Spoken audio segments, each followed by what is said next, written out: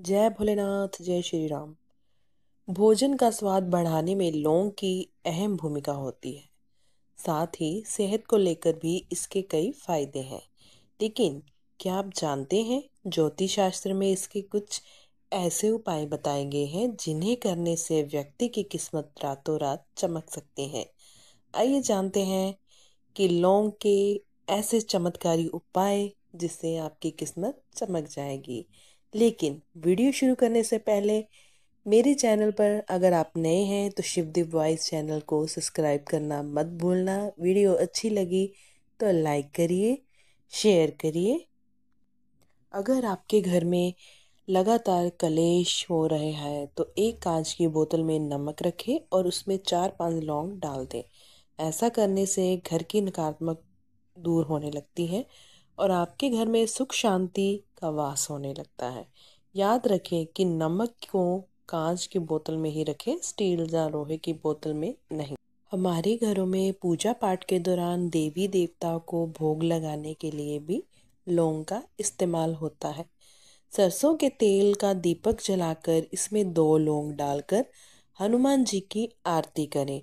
इससे आपको हर काम में सफलता प्राप्त होगी और कार्य में आ रही बाधा दूर होगी। घर में किसी सदस्य या बच्चे को बुरी नज़र लग गई है तो इससे छुटकारा पाने के लिए भी आप लौंग का उपाय कर सकते हैं। इससे पाँच सबूत लौंग लेकर उसे नज़र लगे बच्चे के सिर से पैर तक सात बार सीधा और सात बार उल्टा वार कर जला दे। ऐसा न करने से बच्चे की बुरी नज़र खत्म हो जाती है। यदि आपकी कुंडली में राहु केतु का दोष सता रहा है तो उसे हर शनिवार को लौंग का दान करना चाहिए। इसके अलावा आप शिवलिंग पर भी लौंग अर्पित कर सकते हैं। ऐसा करने से राहु केतु के बुरे प्रभावों से मुक्ति मिलती है।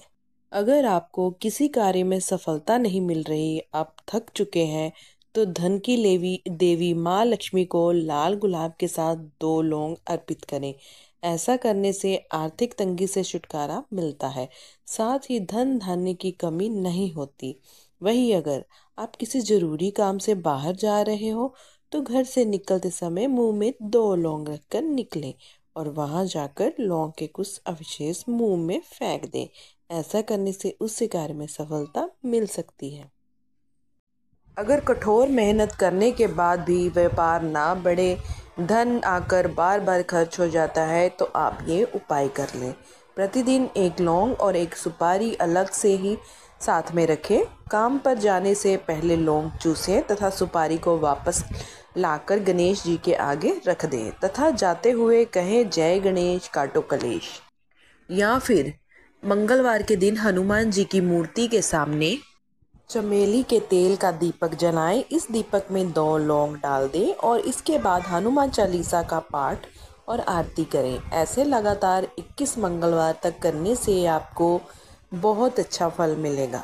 ज्योतिष शास्त्र के अनुसार प्रतिदिन या प्रत्येक शुक्रवार को माँ लक्ष्मी की पूजा करते समय दो गुलाब, दो लौंग गुलाब के फूल के साथ माँ को अर्पित करें। इसके अलावा पाँच लौंग की कलियाँ को लाल रंग के कपड़े में लपेट कर तिजोरी या अलमारी में रख दें। इस उपाय करने से आपको धन लाभ होगा।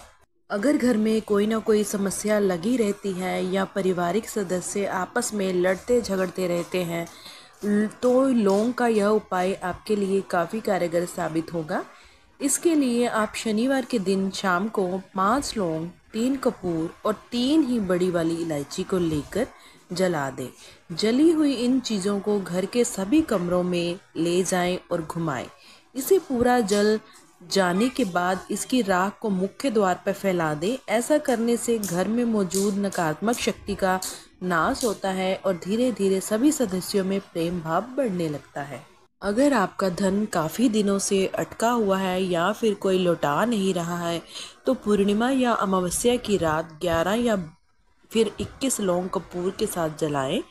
इसके बाद कनक धरा स्रोत का पाठ करें और माता लक्ष्मी ध्यान करते हुए अपनी समस्या से अवगत कराएँ। ऐसा करने से अटका धन वापस आने के योग्य बनते हैं। बुरे सपनों से बचने के लिए तकिए या गद्दे के नीचे आठ लौंग रखें।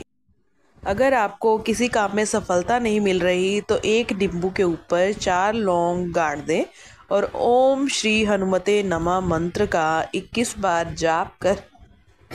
उस नींबू को अपने साथ लेकर जाएँ। हनुमान जी ने चाहा तो आपका काम बन जाएगा।